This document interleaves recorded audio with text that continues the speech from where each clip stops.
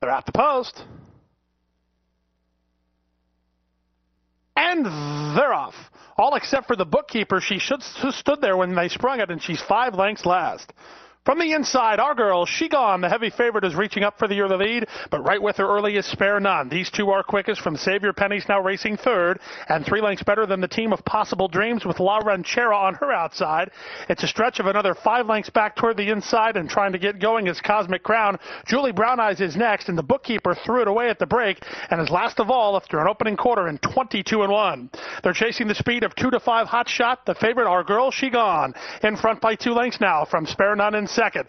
Moving up on the inside and now taking over third is Possible Dreams from backing up Save Your Pennies around horses Cosmic Crown, and they pass the quarter mile pole. Edgard Zayas riding confidently aboard the favorite. Our girl, she gone. She straightens for the drive with a three length lead. Possible Dreams coming up the inside. Late run from La Ranchera down the outside in Cosmic Crown. Eighth of a mile to go. Our girl, she gone with a two and a half length lead. La Ranchera stays on second. Possible Dreams is third, but the favorite will get it. It's our girl, she gone in front by two from La Ranchera second, Possible Dreams third. It's close fourth, Save Your Pennies or Cosmic Crown in 106 flat.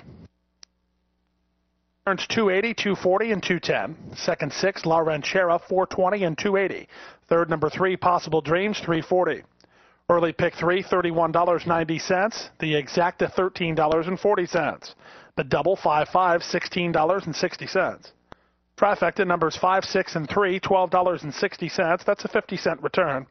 And the superfecta good for $228.30, $22.83 for a dime. Fourth race is next, and we start the Rainbow Six. The fourth race on turf.